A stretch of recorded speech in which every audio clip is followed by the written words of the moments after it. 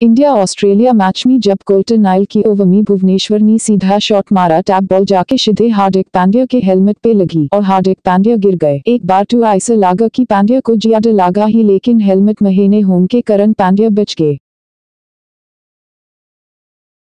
Thanks for watching this video